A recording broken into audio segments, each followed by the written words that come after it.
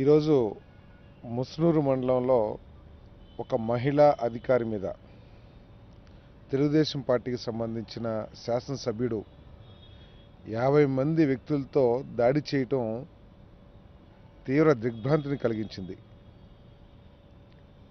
ఇది తీవ్రంగా ఖండించదగ్గ విషయం. ఎటువంటి శక్తుల్ని తెలుగుదేశం పార్టీ పెంచి ప్రోత్సహిస్తుందో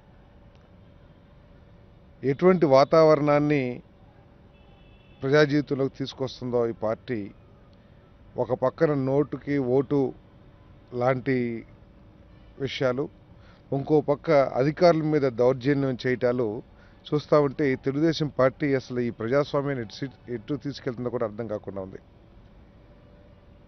ఏదో ప్రజల సమస్య విషయంలో ఆయన దౌర్జన్యం చేస్తాం లేకపోతే అధికారితో గట్టిగా మాట్లాడితే అదేమన్నా వేరే కోణం నుంచి చూడొచ్చు. కానీ తాను చేస్తున్న దోపిడీని తాను చేస్తున్న చట్ట వ్యతిరేక పనిని అడ్డుకున్నప్పుడు తాను పక్కకు తప్పుకోవాల్సింది పోయి లేకపోతే అది ఏదైనా అధికారులతోనో లేకపోతే మినిస్టర్తోనో మాట్లాడింది పోయి తాను అధికారి మీద దౌర్జన్యం చేసి దొంగతనం ఇసుకని దొంగతనం చేయటం ఏ మేరకు సబ్బో తెలుగుదేశం పార్టీ ఏ విధంగా స్పందిస్తుందో వేచి చూడాల్సిన అవసరం ఉంది.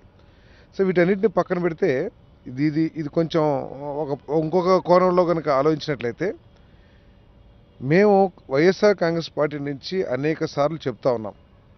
ఇక్కడ ఇసుక మట్టి దోపిడీ జరుగుతుంది అని చెప్పేసి. కలెక్టర్ గారికి కూడా కలెక్టర్ గారి దృష్టికి కూడా అనేక సార్లు తీసుకెళ్ళాం. కానీ ఎప్పుడు కూడా స్పందించలేదు. కలెక్టర్ గారికి మేము అడిగాం అసలు ఇవన్నీ కూడా రూల్ ప్రకారం నడుస్తున్నాయా? రూల్స్కి వ్యతిరేకంగా నడుస్తున్నాయా? ఒకసారి పరిశీలించమంటే దాని మీద కనీసం స్పందన కూడా కలెక్టర్ గారి దగ్గర నుంచి కరువు అయింది అధికారులు కూడా దీని గురించి ఇప్పుడు ఈ సందర్భంలో వాళ్ళందరూ కూడా వారి వారి పరిధిలో జరుగుతున్న విషయాల గురించి పునః పరిశీలించుకోవాల్సిన అవసరం ఉంది. వెంటనే ఎవరైతే అధికారి మీద మహిళా అధికారి అది కూడా ఒక మహిళను కూడా మహిళని కూడా ఇది లేకోకుండా యాభై మందితో దౌర్జన్యం చేయించటం అంటే ఇది తీవ్రంగా ఖండించదగ్గ విషయం.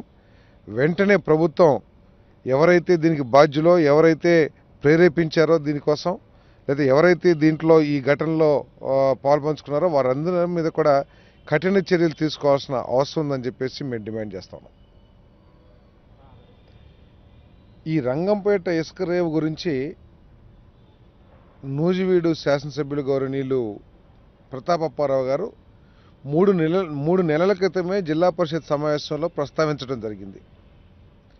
మళ్ళీ నిన్ననే ఇదే దొంగ క్వారీ ఇసుక క్వారీ గురించి జిల్లా సమావేశంలో జిల్లా పరిషత్ సమావేశంలో ప్రస్తావించడం జరిగింది కలెక్టర్ని ప్రశ్నించడం జరిగింది. అయినా కూడా రెండో రోజే వెంటనే ఇటువంటి దోపిడీ చేస్తున్నారంటే అసలు ఈ ప్రభుత్వం పనిచేస్తుందా లేదో కూడా ఒకసారి ఆలోచన చేయాల్సిన అవసరం ఉంది. సాక్షాత్తు ఇరిగేషన్ మంత్రి గారు కూడా ఆ సమావేశంలో ఉన్నారు. ఆయన దృష్టికి కూడా ఈ విషయం వెళ్ళింది. మరి నదులకు సంబంధించిన విషయం అంతా కూడా ఇరిగేషన్ డిపార్ట్మెంట్కి చూసుకోవాలి. అదేవిధంగా మరి మంత్రి గారు స్పందించి వెంటనే అధికారుల మీద చర్య తీసుకోవాల్సింది పోయి కనీసం దాని గురించి పట్టించుకోకుండా మా పార్టీ వాళ్ళు దోసుకుంటే పర్లేదులే అనే విధంగా ఆయన చూస్తూ ఉంటాం.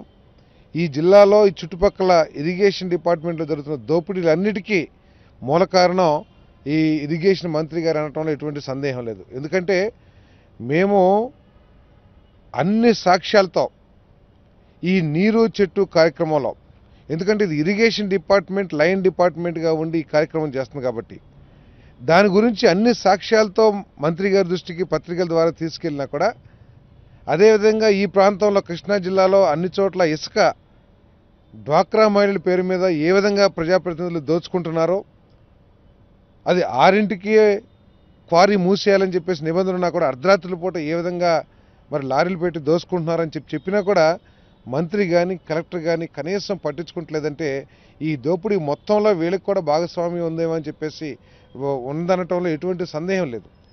మంత్రికి ఈ నీరు చెట్టు కార్యక్రమంలో ఇసుక దోపిడీలో రెగ్యులర్గా రోజువారీ ముడుపులు అందుతున్నాయి కాబట్టి దాని మీద ఎటువంటి యాక్షన్ తీసుకుంటానికి కూడా ఆయన శాఖాపరంగా ఆదేశాలు ఇవ్వటం కానీ లేకపోతే అటువంటి ప్రయత్నం చేయడం కానీ జరగట్లా. మేము చాలా స్పష్టంగా చెప్పాం. నీరు చెట్టు కార్యక్రమంలో కొన్ని కోట్ల రూపాయలు దోపిడీ జరుగుతూ ఉంది. డిపార్ట్మెంట్ నిబంధనల ప్రకారం చెరువు తవ్వటానికి ముందు చెరువు తవ్వటానికి తర్వాత పూర్తయిన తర్వాత లెవెల్స్ తీసుకుని ఎంత మట్టి అక్కడ క్వారింగ్ చేసింది లెక్కలు చెప్పాల్సిన అవసరం ఉంది. ఆ మట్టి ఏ ఏ నిబంధనల ప్రకారం ఎక్కడెక్కడ వాడారో జవాబుదారీతనం వహించాల్సిన అవసరం ఉంది.